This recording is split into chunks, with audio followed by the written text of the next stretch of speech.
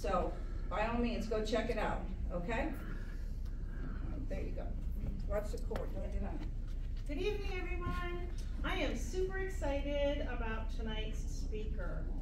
Don is a Florida native and he's been growing since he was in high school. And he started out with the Brassavola nodosa, which is a rather common but um, really beautiful and sometimes wonderfully smelly orchid.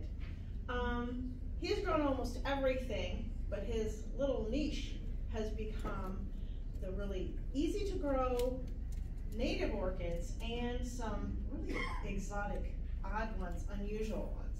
So that's what his topic is for tonight, and I would like everyone to welcome Don.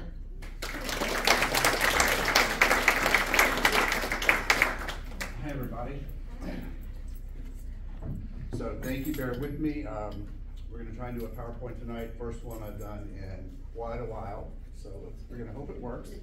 Uh, my computer was about to die earlier, but we got it plugged in and I think we're gonna be good. Okay.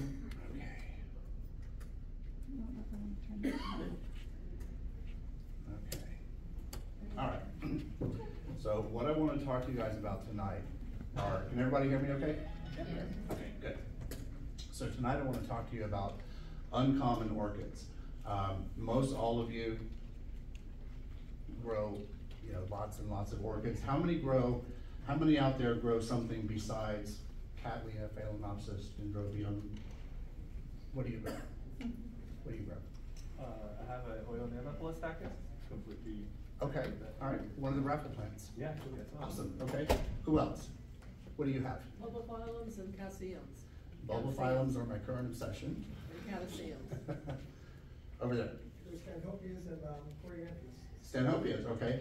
There, we have a Facebook group called the Stanhopea Alliance, which is for Stanhopea, Coryanthes, uh, all of the, all of the ones that are related to that, uh, Paphinias. So join it, there's about five thousand members from around the world. I love them too. I started that group because I love them so much, but they don't like me. They grow, but they never, ever bloom for me. I think it'll keep it wet enough. So, but yeah, so that's the one I want to talk to you guys about tonight are some different orchids that you may not see very much of, um, but they're actually pretty easy to grow.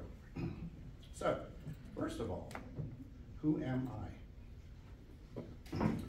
So, as she said, I've been growing orchids for about 35 years or so. My first orchid came to me when I was a junior in high school. My track teacher, Mr. Boyette, gave me a Brassavola nodosa. First orchid I ever had. Uh, he and his wife, I found out, had about 400 orchids. And so he, it's all his, all this, it's all his fault. All the tens of thousands of dollars I've spent over the last 35 years, it's all David Boyette's fault. If you see him, tell him. so I started that one. That just, I couldn't get enough. I couldn't get enough. I would buy them. I lived in, in uh, North Florida, Jacksonville at the time. Mm-hmm. And I started buying, and buying, and buying, and buying. Well, in North Florida, the problem is winter, right? Everything grows great outside during the summer. In the wintertime, not having a greenhouse, I had to try and bring everything indoors. And as most of you know, orchids don't really like to be houseplants for the most part. They like humidity, they like water, they like air movement. When you put them indoors for too long, most of them just kind of pout and some of them die. So that was always my problem, but it didn't stop me from buying orchids. so that's how I got started. Um, we started uh, several Facebook groups. I am the owner of a company called Orchis Designs. Uh, we do, I now import rare, unique orchids from all over the place, and I'm a floral designer, believe it or not. So I've been in the floral industry for about 15 years, and I also do uh, floristry for weddings and special events and so forth. I freelance that, but orchids are really my passions.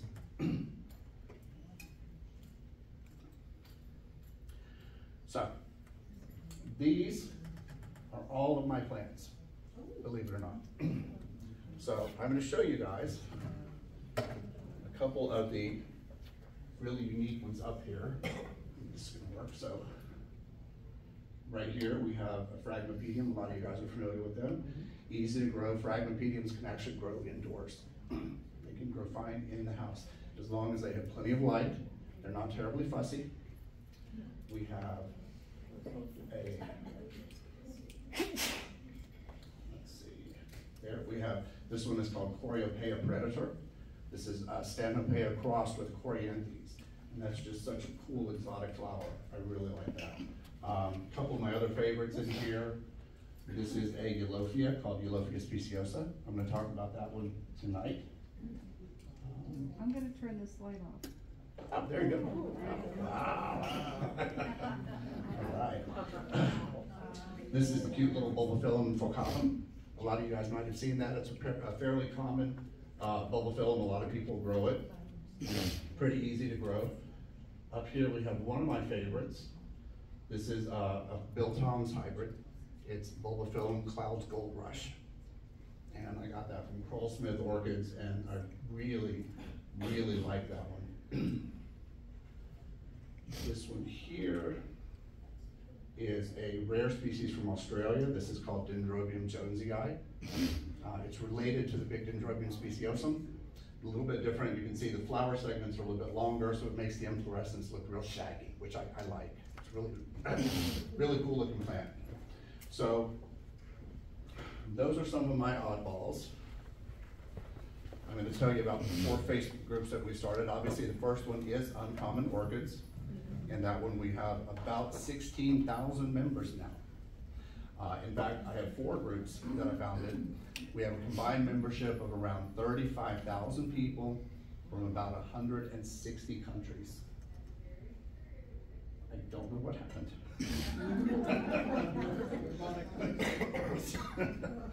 What's going on? Let's try that again. Let's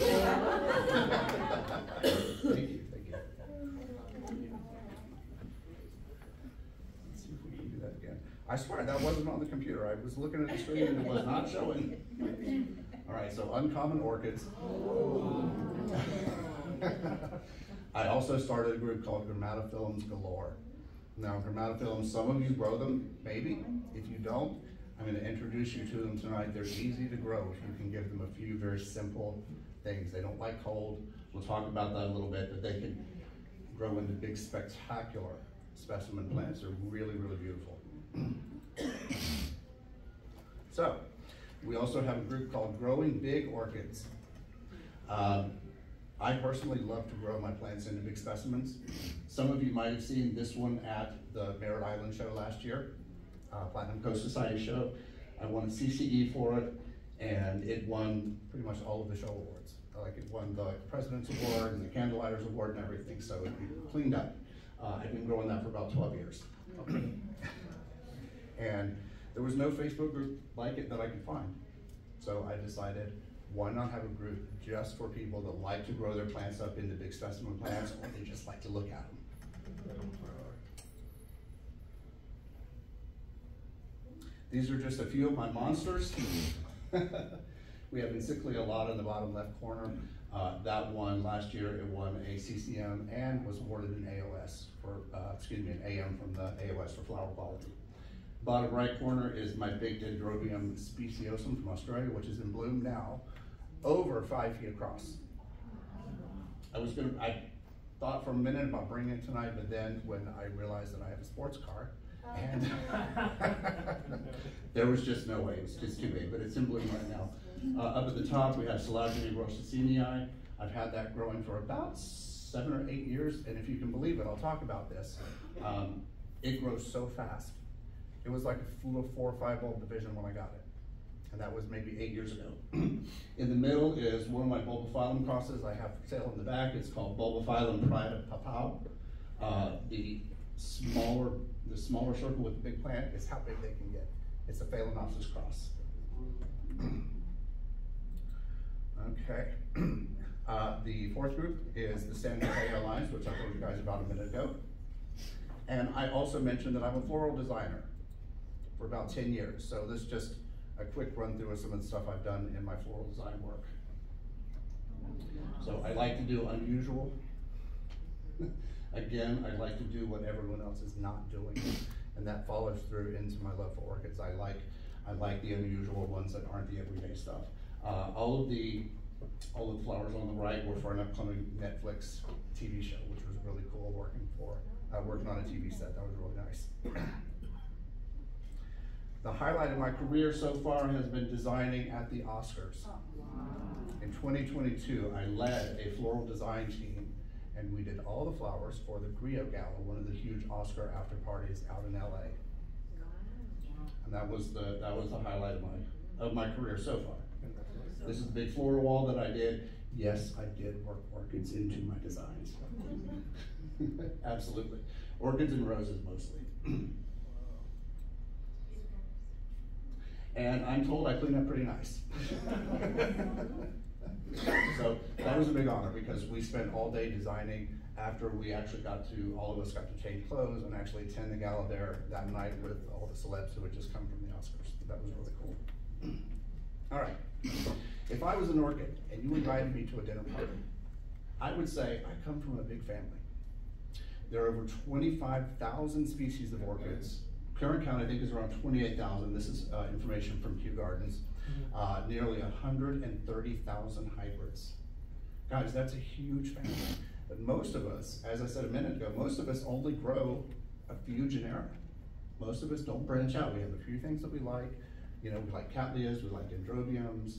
We don't branch out. So what I want to do tonight is show you some more of what's out there that you don't have to be scared of. It's actually easy.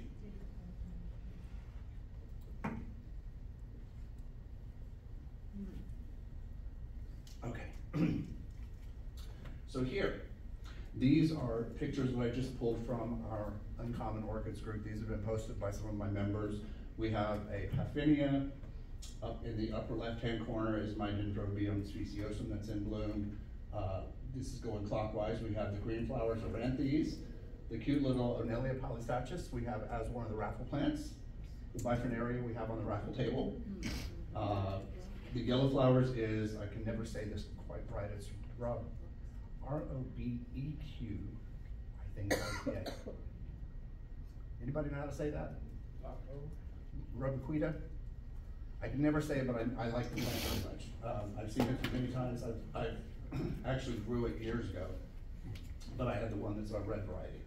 Uh, we have the red flower down here, this is a bulbophyllum hybrid called Raxasa. It's Becarii crossed with Phalaenopsis. Really amazing hybrid. Uh, we have the spider orchid native to Australia, uh, Caladenia. We have a Huntleya, we have a Telipogon, we have, um, let's see, I don't recall the name, oh wait, here we go. Paphinia, we have Sarcoplatus, Bifrenaria, we have the Huntleya is the flower in the center. That's just to give you an idea of some of the uncommon orchids that are available. But no, no, no, go back, go back, Go back. go back, Oh, go back, go back. back. What's the middle one? Which one? The purple. And the, and the, The the big one in the middle, on the The bottom. Australian spider? This one? No, This one? that one right there. That's uh, spider orchid, Caladenia from Australia. It's a, uh, Really? there's a whole family of them. They're terrestrials native to Australia. Most of them are critically endangered, so they come in a variety of, of shapes. This one um, is actually one of the least spider, but some of them have petals that are almost a foot long. Spectacular. I'm trying desperately to find somebody who is, who can, is authorized to like send a seed pod that I can start growing them in a lab. I want to start growing them. I love them. Um, Would you say that the weather here? Pardon? Would you say to grow that since they're native from Australia, the weather will be okay? Most, tropical? most of Australia has, most of Australia, even though they're on, in the southern hemisphere, they have, uh, uh, climate that corresponds to an area in the US. So it's not that different, even though they're, you know, they're a world away. Um, like Sydney, for example, has a fairly temperate climate, it's, it's warm temperate, basically is what they call it. Uh, some of the areas, of course, in the middle of the country are dry, Yeah. arid.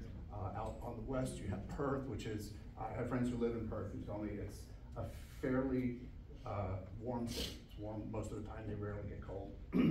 But these guys are found all over Australia, not just in one area. So there's several species throughout the continent. Okay. All right, so, I'm gonna talk tonight about easy and uncommon, and these are a couple of the groups I'm gonna introduce you to. Uh, bulbophyllums, the Australian dendrobiums, there's more than just speciosum, there's speciosum, there's tetragonum, which are spidery. Uh, there's kingianum, which a lot of you have seen. And then the Aussies are taking all of those and they're crossing them all back and forth. So there's so many hybrids available that we just don't get over here. um, I'm gonna talk about eulophias. Eulophias are a really cool group of orchids. Most of you, when I show you the slide, most of you will go, I've seen that little guy. But it's the only one most of you have seen. And Eulophia has some beautiful species. Uh, I'm gonna talk to you just a couple minutes about some phylums that are easy. We're gonna talk about some coelogynes, and finally some coryanthes. okay, first of all, the bulbophyllum genus. Uh, most bulbophyllums come from warm tropical regions. All they need really to be happy is even moisture and warmth throughout the year. They're really not fussy, they're not difficult. Some of them can even grow indoors, provided you can give them light and humidity. Um, I have a bulbophyllum uh, Masterianum that grows indoors. Blooms like crazy all summer long. It grows indoors beautifully. It sits right above an aquarium, so it gets lots of humidity.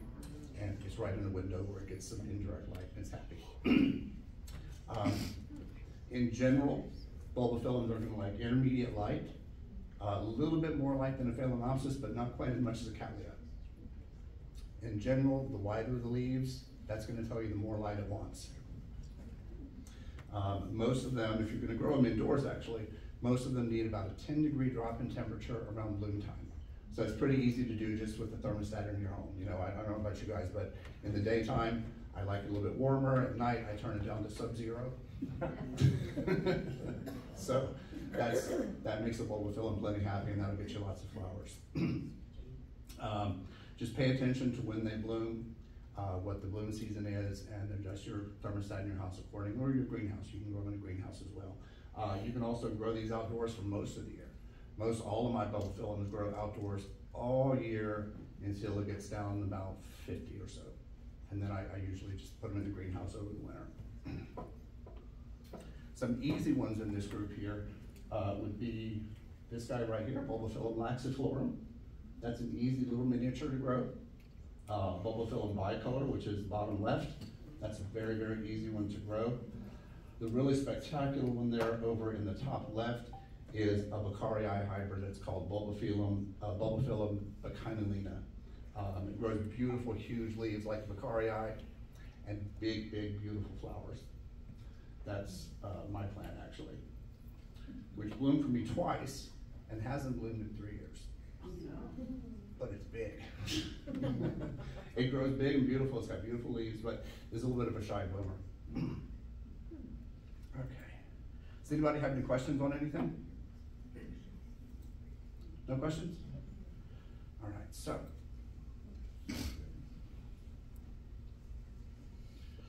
right, that I've already showed you. All right, next slide.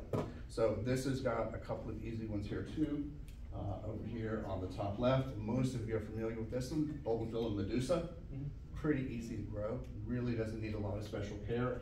It likes it warm, moist, and fairly bright shade. Uh, down here, Elizabeth Ann Buckleberry. A lot of you have that or want it. It's a real popular hybrid. this is one that I'm working on bringing in from Indonesia. It's a rare red form of a species called Bulbophyllum polystichum, which is normally kind of tan or brown. But in Sumatra, there's insane, insanely colored red one. And I have a nursery over there that I'm talking to for quite some time that is actually growing them from seed. And I'm working on making that happen. So that's gonna be, and that's what I do. I finally started uh, business doing that, importing and letting people pre-order because I'm the kind that is an orchid nut. So I would, for example, one of the bulbophyllums I have on the table back there. I saw a picture of it online and said, I want that, I have to have it. Well, nobody over here has it. No one grows it. So I spent two years tracking it down. And I finally decided that uh, people might actually people might actually want to benefit from all the work that I put in to track these things down. So that's what I want to do is I want to be able to offer orchids that are uncommon that you can't get here and that in most cases are easy to grow. okay? More bulbophyllums, this one is worth noting here, this is bulbophyllum behootii. This is a really rare one, I managed to get one, it took me a while to find it, but I actually managed to get a division from a friend in California. It's a super cool flower, smells really, really, really bad. Somebody asked me earlier, well, did the bulbophyllum stink? And I said, well, you like the smell of a dead body with wet socks? They smell great. Otherwise. Yeah, yeah. They smell, if you're, if you're a fly, if you're a carrion beetle, they smell wonderful. They're irresistible. So this gives you an example of some of the rare um, hybrids that are available in Asia that I'm working on bringing over here. Um, in fact, all of these are in my last shipment or my, my next coming shipment. And that's just to give you an idea of the, the Asians, Thailand and Taiwan, they're doing insane things with bulbophyllum breeding. Um, I wish, I wish that there was someone here doing it. But a lot of these, a lot of these are gonna be coming here, I'm gonna be bringing them over here. Okay. Our next family is the Australian dendrobiums. Now, most of you are familiar with the Home Depot dendrobiums. I mm-hmm. call them that because they're, they're in every Home Depot and every Lowe's and, and Trader Joe's, the Phalaenopsis type. I'm talking about the Australian species and all of their hybrids. These, particularly this one, speciosum, is almost indestructible. Every, each and every one of you should grow it. It's so easy. this plant sits outside in almost full sun and grows outdoors all year long. All year. It can handle temperatures up in the 90s. It can go all the way down to freezing. My Aussie buddies, I'm a member of several of the Australian orchid groups, tell me that in the bush they go down in the 30s. They get frost on them, and as long as they're dry, when that happens, it doesn't bother them a bit. So it is a very, very tough, reliable, durable plant. Spectacular in bloom. This is almost five feet across in bloom. So where's a good place to get them? Uh, I know Palmer Orchid has them. In fact, his are coming in bloom right now. He posted a picture on Facebook of some massive specimens that are just coming into bloom. And he does the same thing. His grow outside all year long. He doesn't fuss with them, doesn't do anything. They just grow and bloom. They're spectacular. I see a couple of jaws about to hit the floor. How do you get They're spectacular. How do you get it to bloom? Is there Pardon anything me? special to get it to bloom? I do absolutely nothing. Absolutely nothing. So what I do for this guy is in the, after the flower spade, that's when new growth breaks. So when it's got new growth coming, I give it lots of fertilizer, lots of water, and then by then, you know, by that time it's summertime in Florida, you know what our weather's like, we get tons of rain, it's hot as heck, it's very humid, this guy likes that. And then in the winter, the humidity goes down, it's drier because it doesn't rain very much, and we get temperatures falling into the forties and fifties. That's what makes him bloom. Okay. So literally, you don't, it's bloomed every single year for me in South Florida for the last six years. In Fort Lauderdale, and then I moved here three years ago, and it just kept- keeps right on going. That is an easy, easy plant. There are nine varieties of speciosum. There's even, if you don't want the huge one, there's a little bit, little bitty compact one. Uh, the variety called pedunculatum, which you can sometimes find.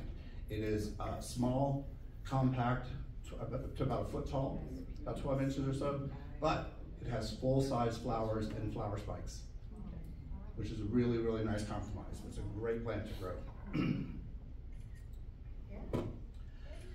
This gives you an idea of some of the variety there. Now, these are all my plants. The one on the top left is, I mentioned it earlier, Dendrobium jonesii. Similar to speciosum, but you can tell the flowers are a little bit different. By the way, all of the speciosums are very, very fragrant. And that carries through to most of their hybrids. Um, this guy is, this one, that one, and that one are a cross called Hilda Poxon, which you can sometimes find for sale here. Uh, it's speciosum crossed with another Australian native called uh, Dendrobium tetragona, which has real spidery flowers. And again, none of these require any special care whatsoever. Uh, down here we have, this used to be Dockrillia, they've moved it back into Dendrobium now. The taxonomists, you know, they need something to do all the time. Yeah. it's, it's- it's hard to keep track of them. Uh, now it's Dendrobium willisii. Uh, Dendrobium white grace is a beautiful, beautiful stately white Australian dendrobium hybrid and it blooms several times a year. It's, uh, it starts dendrobium speciosum crossed, and I can't remember what else it's crossed with, but it's a beautiful plant. It canes about, you know, eighteen inches to two feet tall, and flower spikes maybe another two feet. Really, really pretty plant. Um, This is, uh, Hilda Poxon, which is this one, crossed with a speciosum name, uh, known as Yonditina. So that's speciosum and tetragonum back crossed to another speciosum. And these are all easy. These look exotic, but they're easy to grow. Again, mine grow and bloom right here. I don't do anything to them. The weather that we have here is perfect for them. They absolutely love it. In fact, um, my Dendrobium jonesii, I have a big special, uh, specimen plant that's about four feet across when it blooms. And my, my buddy Jerry Walsh in Australia, who's seen them in the bush, it's like, that's a spectacular flowering. How did you do that? I'm like, I didn't do anything to it. It just grows and blooms. He said it was better than what he usually sees them in the wild. So they really, really like Central Florida. If you have a chance to get some, I would say get them. Is that Palmer orchids also? Pardon? Is that at Palmer or- orchids also? I bel I believe, I know he has, I know he has big speciosums. Um, right now Fred Clark from SVO Orchids has a lot of the Aussie hybrids. Um, but this, and this is to give you an example of some of what's available in Australia. They do a lot of breeding with them. We don't have it here because most of the species we don't have. We, you know, we occasionally get speciosum, we rarely get tetragonum. So there's not as much breeding that happens here. Uh, I'm also working on bringing in some of these really, really beautiful hybrids because other than Fred, nobody else really has them here. So these are all hybrids of Dendrobium speciosum crossed with either Kingianum, Tetragonum. Have have you seen those on his website? Pardon me? Does he have them on his website, Fred Clark? Yes. Yeah, if you go to, um, You- S, You yeah, can see them, okay. yeah. If you go to, well, he, he Sometimes doesn't I show, that he show calls picture, he that. shows pictures of the parents. Of each creek, like he lists the cross and he shows pictures of the parents, but not, the, most of his crosses are not yet bloomed, they're all seedlings. So, part of what I'm gonna try and do is bring over seedlings, but I also wanna bring over some, some bigger, like bloom-sized plants too. Cause I'm impatient, I don't like seedlings. I want instant gratification. Don't we all? Uh, the next family I want to talk to you guys about is Eulophias. Uh, this is one of my favorites. This is Eulophias speciosa nicola, and it was grown by my friend uh, Richard Fulford, who got that award, the AMAOS. I have a division of his plant. This is a beautiful African Eulophia. Um, most of you have seen this guy, right? It's common around Florida. Uh, I think at last I heard it's all spread all the way up into the Carolinas. It pops up in uh, parking lots, in mulch areas. Uh, a lot of people say the seeds come in with mulch, but it's um, non-native, but it's become very pop, uh, sort of, or very common in the southeast United States. So you may have run into this little guy. A lot of people think that this is the only uh, this is what eulophias look like. Having seen the least attractive member of the whole family, there's some really, really spectacular eulophias. I'll show you a few of So are they invasive? Pardon me? Are they invasive in Florida? They're, they're not invasive. Uh, I have currently, them in my yard. yeah, currently, and I, I looked it up again just to make sure before I did the, the talk, uh, to make sure it hadn't been updated, but they're listed, um, as category two, uh, on the invasive plant research, uh, website by the University of Florida. And category two is non-native, naturalized, uh, but not harming the environment. So mean, I just bought they're here, they're, and but- Take them in the house. yeah, but the grass in your yard is also not native in most cases, you know what I mean? Most of what we grow is not native. Right. Um, so as of yet, they've been here for, in fact, I was one of the first ones that found it, uh, in Miami, back in two thousand three, I think it was. Um, I was, my, my report was one of the only two sightings in the US so far. Um, and I worked a little bit with, uh, Bob Pemberton from the USDA Invasive Plant Research Laboratory, because at that time, they were still trying to figure out how it got here, how it was spreading, who was pollinating it, you know, what was it doing here? Was it gonna be a problem? Did they need to take action? And I watched its classification over the years. You'll see people post this online in the Facebook groups, and everybody immediately shouts, invasive, invasive, get rid of it. Yeah. It's not. It's no more invasive than most of the plants in your yard. It's not That's what causing harm. I've seen it growing in the wild. I've seen it growing in the, you know, in the woods, in the, in the, um, in the forest. Doesn't cause any problem. And in fact, it often grows where nothing else will grow. A lot of places that I saw back in central Florida were underneath Australian pines. Uh, we haven't seen those really up here in Florida, in, uh, central Florida. In South Florida, that's another invasive species that's taking over. Australian pines drip a toxin out of their leaves onto the ground. And so almost nothing will grow under Australian pines. And these little guys come in and colonize the ground underneath them. So, yeah, it's not an invader. You don't have to call them the military or anything, it's, it's not be you. So, again, the genus Eulophia contains some really beautiful species. Um, these are a few that I have. Back up. Gotcha. Okay. Third one on the top, you know that one? This one, Yeah. yes, super rare. Eulophia callichroma. Of course. I got- I got a one bulb division. There was only one other dude that I, one other picture I could find on YouTube from one guy, uh, who had it. My one bulb division sat for four years, neither growing nor dying. No new growth, it didn't die, it just sat there and defied me. It finally crowed. Finally crowed. I wanna find it again, I was really happy, but it, it sprays, sprays up to four feet tall with these tiny little quarter inch, little dainty flowers. I wanna find it again, um, but I may not, I may not get lucky enough to find it again. Okay, how are we doing on time? Great. Good, okay, perfect. We're about, a little more than halfway through. So these are some of my, these are some of mine, actually. This one over here is a hybrid called Memoria Alexis Pardo. Easy plant to grow. All of these, um, all of these are among the African Eulophias, with the exception of macrobulbon. The African Eulophias in general want lots of heat, moisture, sun in the summertime. They go through a very dry winter rest, which is when basically you get to take the winter off. You don't have to do anything with them. Um, my Eulophia petersii goes from October to about February or March with not a drop of water. Not a drop. In fact, if you water it, it won't bloom. So they're super easy to grow, particularly the African ones.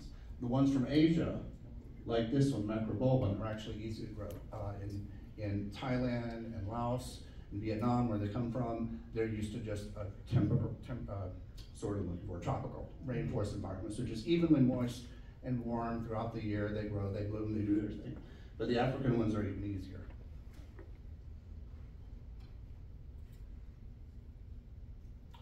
Now, the next group is grammatophyllums. A lot of you, these aren't really uncommon per se, most of you are familiar with them. But has anybody out here thought about trying them but has been afraid to? I'm trying them, but I can't get it to bloom. Can't get it to bloom. What's it doing? Is it growing? Leaves have been falling off, I don't know if it was too cold for them. Okay, possibly. Grammatophyllums are divas about the cold. They hate, mm-hmm. hate the cold, and they will pout, and they will sulk, and they will let you know they're not happy. but they're not, they don't die. Um, do you have do you have one with broad leaves, or are they narrow? They're narrow leaves. Narrow leaves. Okay. There's two. They're divided into two basic categories. There's the broad leaf ones, which would be ones like elegans and tiger paw and uh, scriptum, uh, and then citrinum. Those are a little bit different than the ones that are cane-like. They grow. They look kind of like sugar cane, which sounds like that might be what you have. If you have one of those, they get really big, really, really. I'll show you in a minute. Uh, but they don't like cold at all. I had one even in South Florida. I had uh, Grammatophyllum speciosum, which is the largest orchid in the world. It's one of the cane type ones. And when temperatures hit 55, it pouted and dropped its leaves. The growing tip on all of the canes rotted off and died, and the cane just stopped growing right there. They hate cold. The broadleaf ones are a lot easier to grow as long as you can keep them warm. So, so I have to train. Pardon me? I have a citrina Citrina, hmm and How's it's it do for you? suffering right now. Pardon? It's suffering?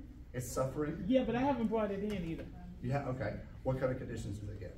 It's under an oak tree, probably needs more water, um, and it's outside. Okay. How big is it? Paid like ninety dollars for this. It's a good sign, okay, okay. So generally, and this is true with, you guys know, this is true with most orchids, if they're not blooming, the first thing you always wanna look at is are they getting enough light? Because an orchid that's not getting enough light will often grow and be beautiful with nice shiny deep green leaves, but it's not enough light to bloom. Are your leaves really green or are they kinda yellowish green? Yellowish green. Okay, so it sounds like you're getting good light. They also need a temperature drop. Do you bring it in or put it in the greenhouse when the temperature gets cold? No. They need a slight drop in temperature, about ten degrees or so. Again, they don't wanna get cold, they want that little bit of variation. I've noticed too, the, the day-night cycle. I have some, I used to have some in South Florida that sat where streetlights fell on them, and I noticed that at night, their, uh, their bloom cycle was off. They didn't bloom at the regular time. So I have some suspicion that they're, um, what's the word I'm looking for? Uh, photolithic, they're influenced by the day-night cycle. Mm-hmm. So that might be it too. If it's sitting somewhere that night, that light falls on it at night, that could be affecting it. I don't, I think it got cold and it's probably not getting enough water. Okay. Are your pseudobulbs fat or are they wrinkly? Fat. They're nice and fat. It sounds like everything should be right on that. It's cold. I haven't brought it in. Yeah, if it's, again, if it's, if it's in the cold, it's not gonna bloom because they, they're not, where they come from, they don't get cold. So, right, if it's getting cold, it's, it's sending all of its energy into just trying to stay alive, it doesn't have the extra energy to bloom, so that may be what's happening to yours. Okay.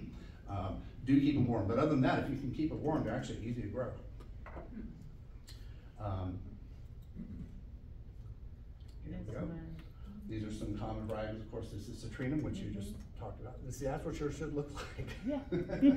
I will. You can Uh, keep it. We have tiger paw here, this I'll is my big until you bring it in. elegans.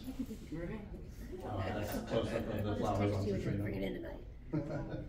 Um, This is, uh, Grammatophyllum scriptum, and this is one called, um, Jumbo Grand, which is a a hybrid, it's a hybrid of, um, stem, I can't never say the word, stem pelifolium, I think it is, it's the one that's pendant, and they made a really nice hybrid out of it. So that's a hanging flower spike. And all of those, again, all those are pretty easy to grow. The broad-leaved ones in general are much easier than the cane type, and the cane type get huge. Oh, wow. Look at that. Oh, wow. So that is, that is Grammatophyllum speciosum. This is the largest orchid in the world. Can get canes up to four meters long. That's sixteen feet long. Okay, about twelve feet long. This is Grammatophyllum melisii. This is another one in the same complex. It's bit- slightly smaller, but not much. Um, one of my, one of my members in the Facebook group for Grammatophyllums posted a picture of her melisii, and she's standing there, reaching up, touching the flower spike. It's taller than her. So these are beautiful. Here in Central Florida, unless you have a monster-sized greenhouse, you're not gonna be able to grow these, because you can't keep them warm enough outside. Unless you literally like build a tent around them in the winter and heat it. But they are nice, they're really nice to look at. Um, this is, this is a really rare one, this is Grammatophyllum uh, pantherianum. That's again, one of the cane type ones, We've never, never seen this. Uh, this is the alba form of speciosum. Okay.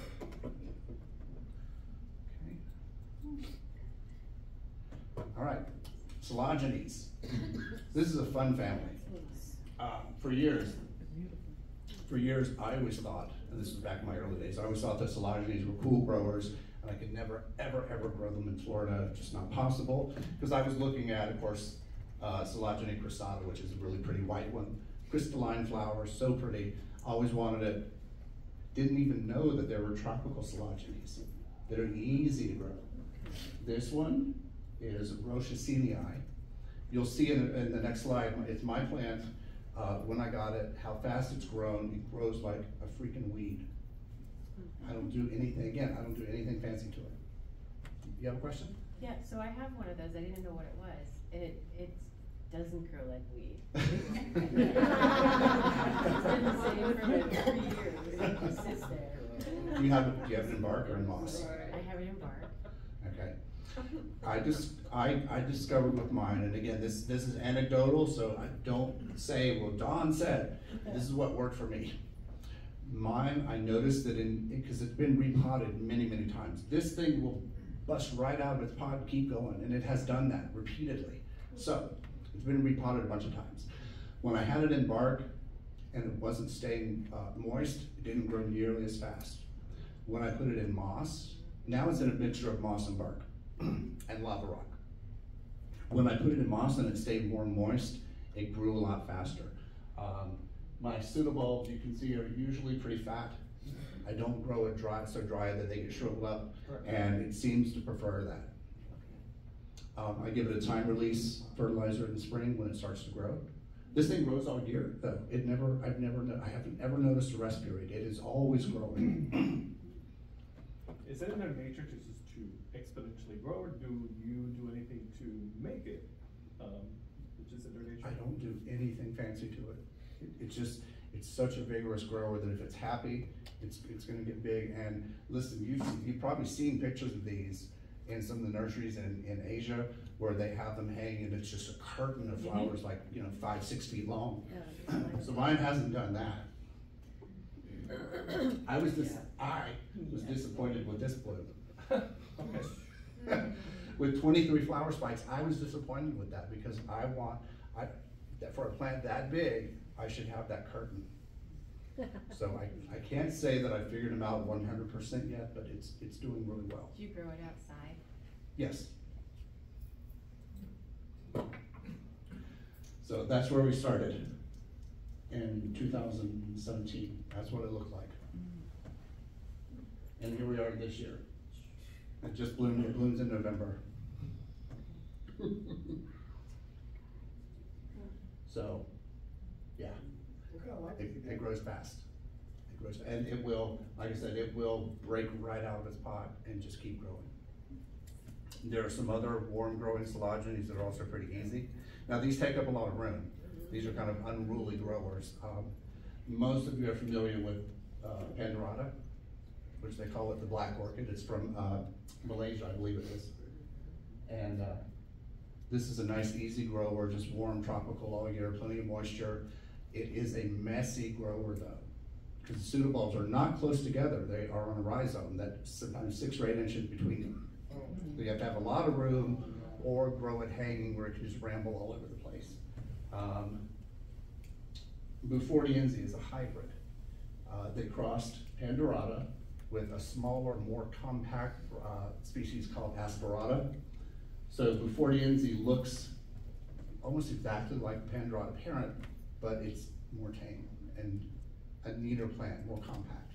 Um, one of the things I like about it is it also keeps the yellow on the lip, which it gets from the Asperata parent. Uh, this is another hybrid called uh, South Carolina, which is easy. Um, in general, all these, all these tropical, warm growing Coelogynes are not difficult as long as you can give them good light, warm throughout the year, and most of them like to just stay evenly moist throughout the year. They don't have a pronounced rest period, they just kind of grow all year.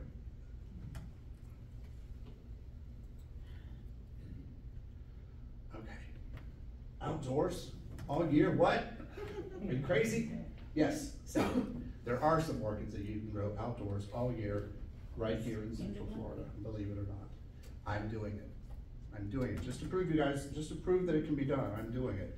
Um, I was telling somebody earlier, we were talking about vandas, and I have, and I know this is, you're all gonna, you're all gonna cringe when I tell you this.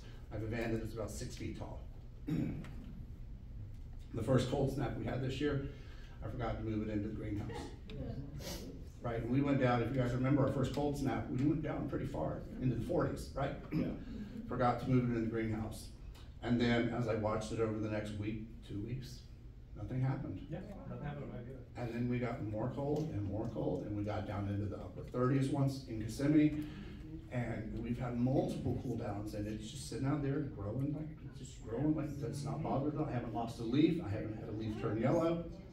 So I think for the most part, most vandas are a little bit more resilient than we give them credit for. Uh, that being said, I wouldn't encourage you to expose your vandas to forty degree weather. But it is, it is possible. It kind of just proves that there's no real hard and fast rules with orchid growing, you know, everything is kind of, every, you know how, you know, they always, in Washington, they always talk about fuzzy math? Fuzzy math, that doesn't quite, numbers don't quite add up. So orchid growing is a lot the same way. It's, it's, the care requirements are kind of fuzzy, right? It's what works for you. So some of you may try, like, you know, this lady has problems with the Grammatophyllum scriptum. May just be, sometimes if you have a plant that's not doing well, if you move it just a couple of feet, sometimes just a couple of feet into a little bit different light or a little bit different microclimate is all that it needs. So if your plant's not happy, just move it a little bit.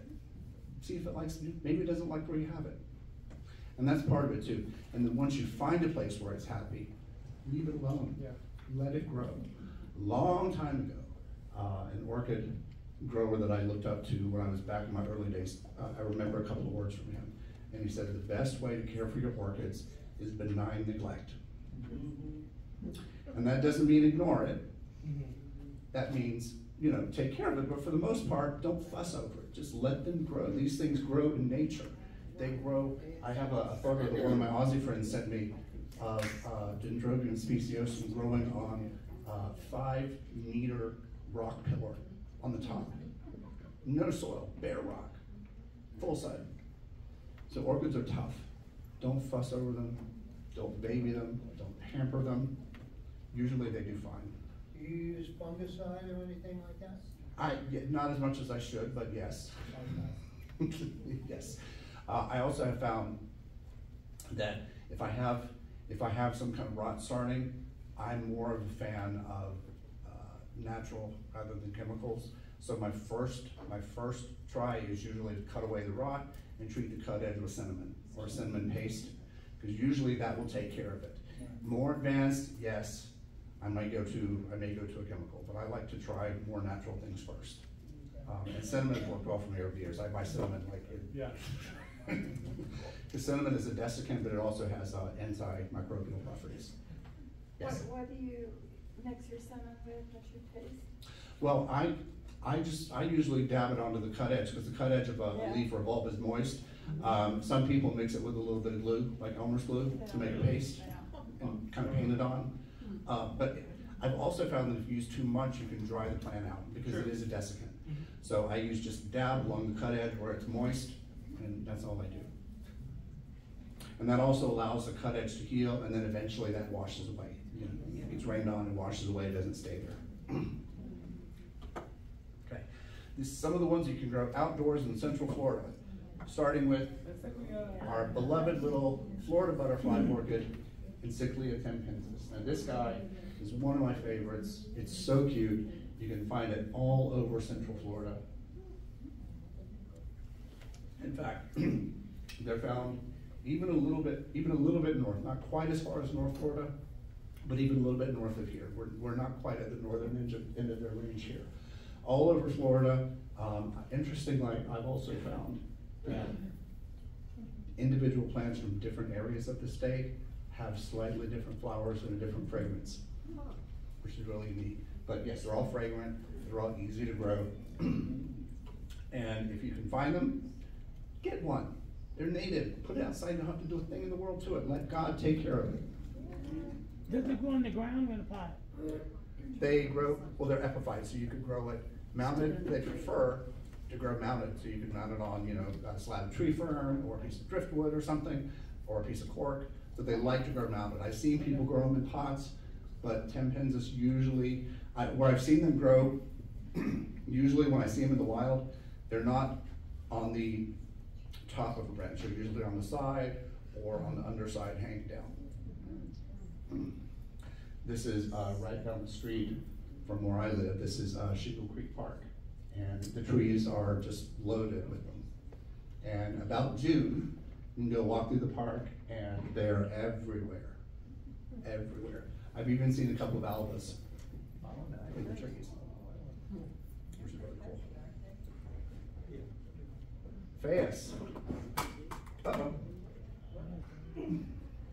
mouse is running away, I need a cat to chase it. Uh, is another easy to grow orchid genus that will grow outdoors perfectly happy, right here in central Florida. In fact, that's mine sitting, I kind of sunk the pot into the ground a little bit so the roots can come out of the bottom and go into the soil if they want to. And they're all in spike right now. I have about six plants, all in spike. I haven't done a thing in the world to them to protect them from the cold. Perfectly happy. And they grow and bloom all years. Friends of mine in South Florida grew them outdoors all year long. South Florida gets down to about the same temperatures we get here. It's not really that much warmer. South Florida can get temperatures in the thirties. Occasionally, not as often, but still. So these guys are perfectly happy outdoors and there's several hybrids, varieties, species to choose from. All right. This is one of my favorite, favorite orchids. If you can find one, go get one. Go get one. They're so cool and so easy. This is Eulophia petersii. This is one of the African Eulophias that I mentioned to you earlier. Look at the flowers, they're beautiful. Very light fragrance. This is a true succulent orchid. This is native from Africa through the Arabian Peninsula, and they grow in very dry, arid areas. They'll often grow on exposed rock faces. They'll grow in the desert, literally in the desert. Uh, and the blooms, last year, for me, they topped 12 feet tall.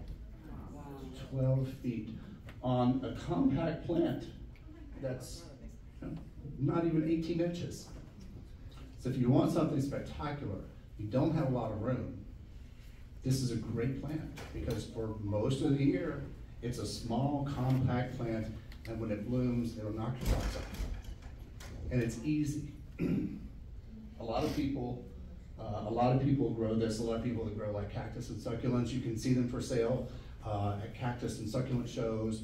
A lot of succulent nurseries have it for sale also because those folks like to grow it, but they never bloom it. Um, and I figured out the trick about five years ago, which is it needs a dry, completely dry winter rest.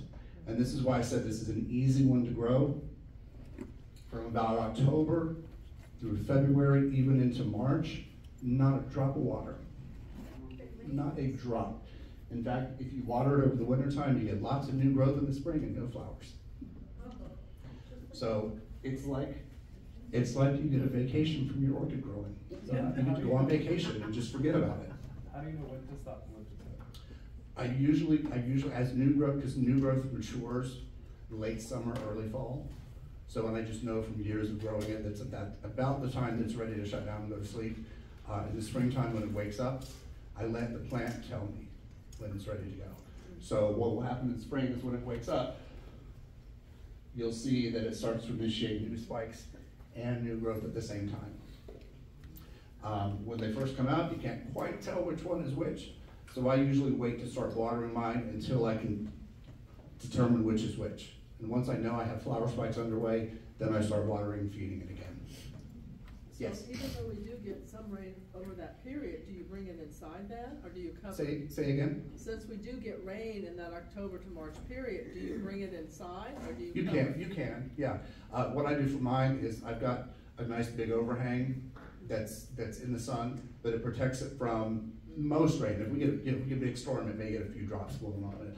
For the most part, it's able to get full sun and a little, it stays pretty dry. And it still blooms. A little bit of water isn't gonna throw off the blooming cycle, but too much water will keep it from blooming.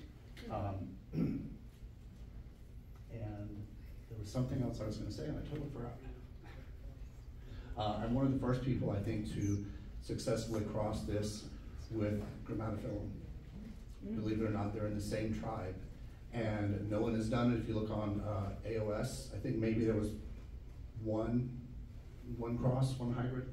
Um, and on the RHS, it's not been registered. So I crossed this with Grammatophyllum scriptum, and I have pods going to flask now. Really interested to see what those will look like. But this, this, out of all the ones I showed you tonight, if you have a chance to find these, get one. They are so cool. Even if you never bloom it, it's just a cool looking plant. And super easy. And now my Australian dendrobiums. Again, these are easy to grow, fragrant, highly fragrant, beautiful flowers, easy to grow. Uh, I told you about the conditions that mine gets at home. I don't do anything to it. This is that picture I was telling you about. That's about a sixty foot rock pillar. And up at the top, in full sun, no soil at all, it's crowned with speciosum. Right, it's just out in the bush in Australia. Um, Several forms, this is Jack. Jack the Tabby. Uh, I call, sometimes I call him Ferdinand, after the bull in the children's story, because Jack likes to smell my orchid flowers. This one, the uh, bulbophyllum, he went up to it, he smelled it, and he kind of sprinkled his little nose, but he was curious. He went back and he smelled it again, he decided he didn't like it. This one, I, this is a golf green hair pig, and I caught him several times up there sniffing that one, so he must have liked that one. Uh, he also knows how to use Alexa. I see that.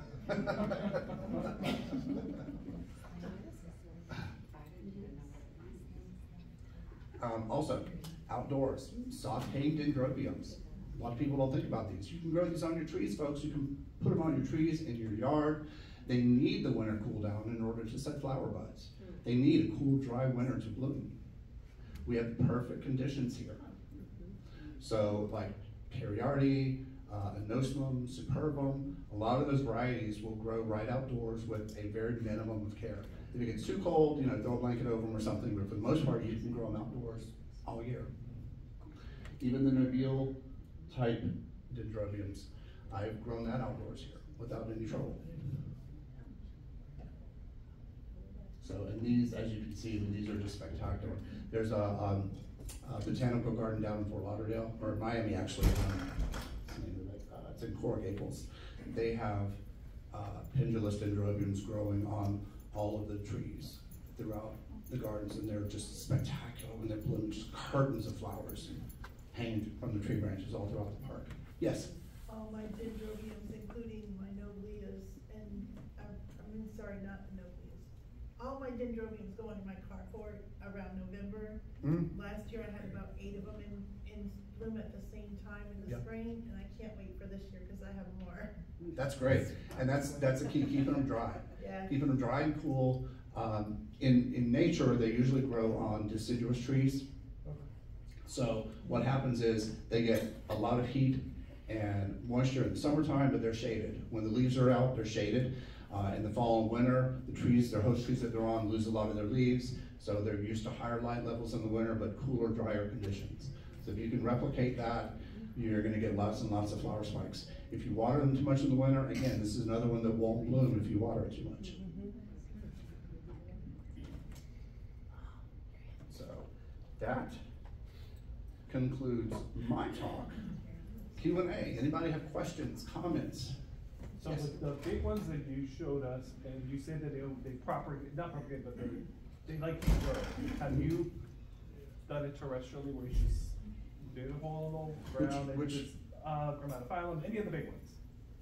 Grammatophyllums, uh, I have speciosum, the big one that I showed you with the man standing there, that grows in the ground. In Singapore, they, they use it as a landscape plant. So it will grow in the ground. Um, it's technically not a terrestrial, it's an epiphyte. They, uh, they naturally occur in trees, but it's perfectly happy growing on the ground too. I've seen them many places in Hawaii, there's some growers in Hawaii that have them just in the, on the grounds of their nursery. They seem perfectly happy to grow on the ground too. They can, they can grow in a greenhouse. If you have a greenhouse big enough, a lot of botanical gardens across the country have it in their collection, they grow it in a greenhouse. So if you have a greenhouse big enough, you can grow it in a greenhouse. But it will get big, really big. It's really, really big. Is Anybody else? Fairchild you were talking about? I'm sorry? Fairchild Gardens? Yes, thank you. Fairchild, that's it, yes. I don't know why I went blank. I went- I went to that place for twenty-two years. Yeah. I used to go all the time, yeah. Fairchild, yes, that's it, thank you. Anybody else? No? Do you grow any catasetum? I have, I don't currently, but yes, they're also easy, easy. Lots of water and food when they're growing, and again, a dry winter rest. A lot of growers even will just turn the pots over on their side in the winter so they don't get accidentally watered. They're easy. Yes, ma'am. That, um, that Eulophia petersii? Pardon? uh, That Eulophia petersii that Yeah. you showed, when it comes out of dormancy, how much water does it need? I usually start, once, once I can tell the difference between my new growth and my flower spikes, and I know I have flower spikes underway, I'll start watering as normal. Um, Like- in the fall, A lot of water? Just, I, I soak it pretty good the first time, cause it's been Yeah. dry for like five months, yeah. Yeah. Um, and they, I've also, you know, they get tons of rain in the, in the summertime, never had a problem with rot, they take it, they just keep Okay. on going. I grow it in a cactus mix with some additional pebbles, just to help aerate the soil a little bit more. That's another one that it grows so robustly, it'll break out of the pot and keep going. It's a, it's a really, really good plant. Great, thanks. Yep. Well, that's, that's about it. Uh, in closing, just remember, uh, if you wanna take a picture of the screen there, those are the four groups on Facebook. We have Uncommon Orchids, which is this one. Uh, Stanhopea Alliance, Grammatophyllums galore, and Growing Big Orchids. Thank you. And that's it for me, everybody. Awesome, awesome. Thank you so much. Go out and try some new things. Thank you. Thank you. Go trick. Guardian angel over here. I can unplug it now, actually, it's not gonna matter. Made it through.